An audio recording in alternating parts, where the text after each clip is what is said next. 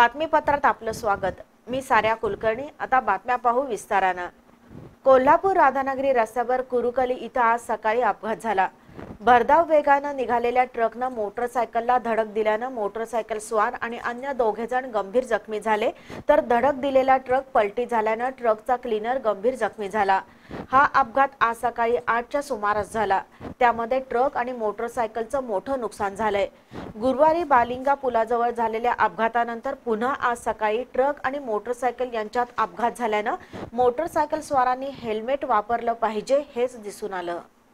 राधानगरी तालुक्यातील कौलव इथले छत्तीस वर्षाचे कृष्णाथ हरी जाधव तेहतीस वर्षाचे सुरेश हरी राठोळे आणि बासष्ट वर्षाच्या सखुबाई हरी राठोळे हे तिघे जण मोटरसायकलवरून कोल्हापूरला निघाले होते.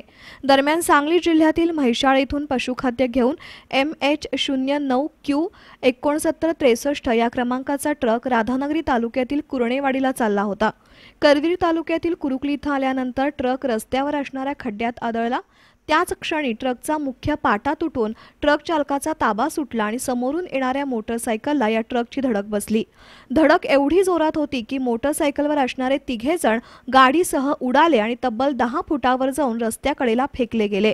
तर काही अंतरावर जाऊन ट्रक उलटला मोटरसायकलवरील सुरेश राठोळे आणि कृष्णा जाधव हे दोघे जण कोल्हापूरला खासगी कंपनीत कामावर जात होते. तर सुरेशची आई सखुबाई या दवाखान्यात निघाल्या होत्या. या अपघातात सुरेश आणि कृष्णात हे दोघे गंभीर जखमी झालेत तर लक्ष्मीबाई यांच्या डोक्याला मार लागलाय. तसंच ट्रक पलटी झाल्यानं ट्रकचा क्लीनर बाळू सिद्धू बनगर याचा देखील पाय फ्रॅक्चर झालाय.